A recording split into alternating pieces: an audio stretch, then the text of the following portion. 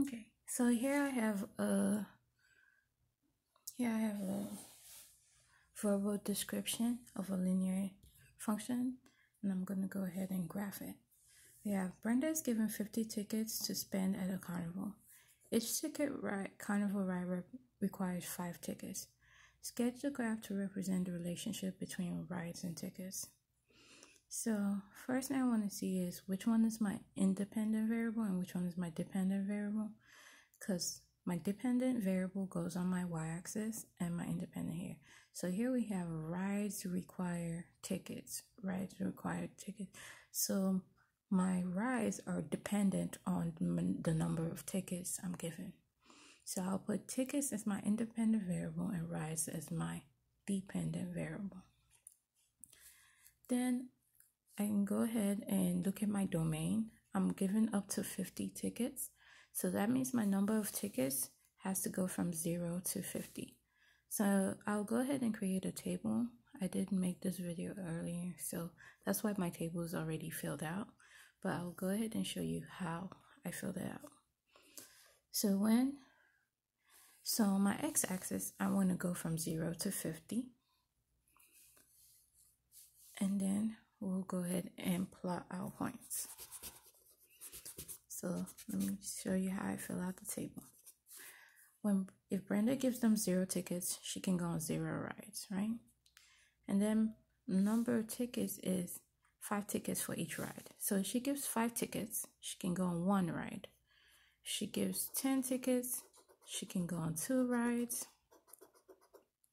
because five tickets per ride. So 10 divided by 5, 2. 15 tickets, she can go on 3 rides, right? 5 3 times is 15. Four, um, if she gives them 20 tickets, she can go on 4 rides, and so forth. So my rides is increasing by 1 every time my tickets, my number of tickets increases by 5. So my my so there are two important things I want to notice what is my y-intercept or my start and what is my rate of change or my slope? So my graph has to begin at zero zero because that's my my zero my start my y-intercept so i put a point at zero zero. Then i know every five tickets i give i can go on one ride. So i'll just go ahead and go five tickets go on one ride. If i give um 10 tickets i can go on two rides so if I get five more tickets, I can go on one more ride, which is 15, um, three rides when I get 15 tickets. If I give five more tickets, that's 20 tickets. I can go on one more ride, which will be four, and so forth. So I'm going to keep going, doing that till I get to the end. If I get 50 tickets, I can go on up to 10 rides.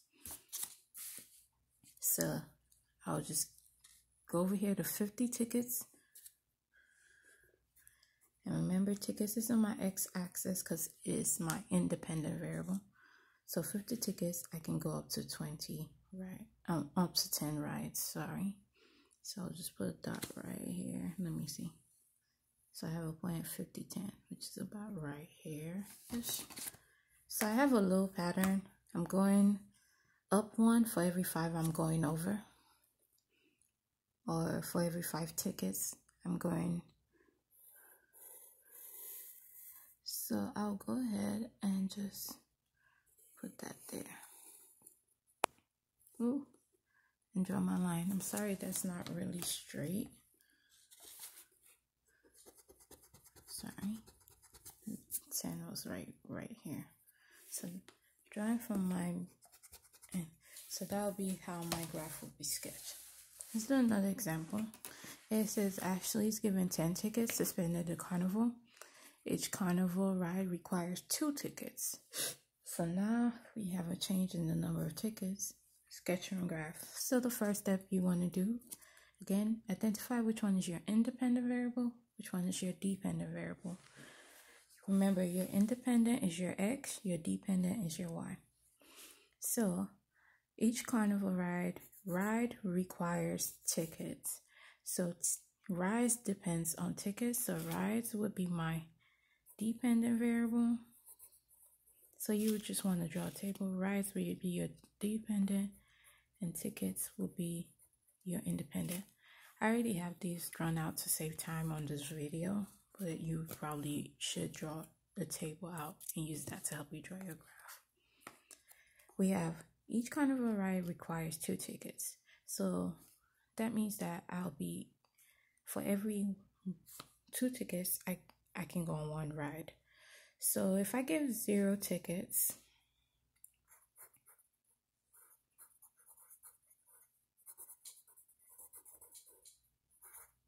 I can't go on any ride. If I give two tickets, I can go on one ride. And it's tell it's I'm told that she's given 10 tickets. That means that my number of tickets has to range from 0 to 10. So I keep have I have to go by twos on my number of tickets till I get to 10. So 0, 2, 4, 6, 8, and I get to 10.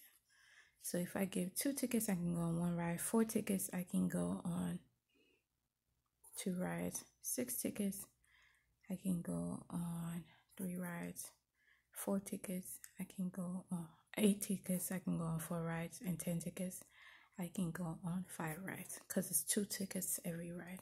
So I'll just go ahead and plot those points. So every two, so I start at, remember you want to see what your y-intercept is, where you're starting. Start at zero, zero. And then how much is my, what is my rate of change? So I'm gonna, going up one ride for every two tickets. That's my rate of change. So I would just go, I would just say, well, I go up one for every two tickets. I can go on one ride every two tickets. So at two, one, I have a point. Four, two, like I said, if I go, I mean, mm,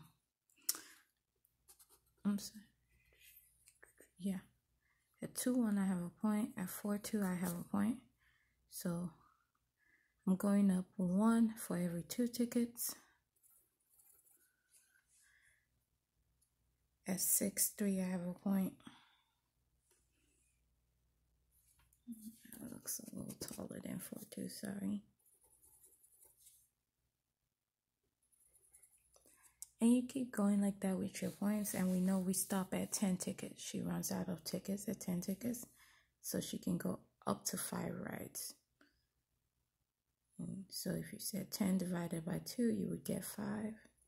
So she can go up to 5 rides.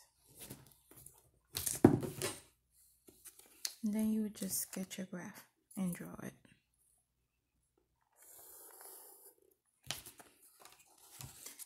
you'd want to make your x-axis go from whatever your number of tickets from zero to whatever the number of tickets you have she has that's your domain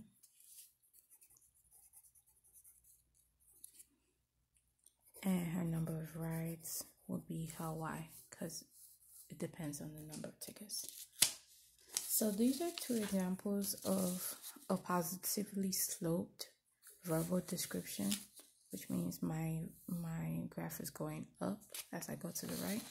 I'm going to do one example of a negatively sloped verbal description problem. So first up, from verbal description, you want to identify your independent and dependent variable. Remember, your dependent is your y, your independent is your x. And then you want to know what your beginning is and your rate of change.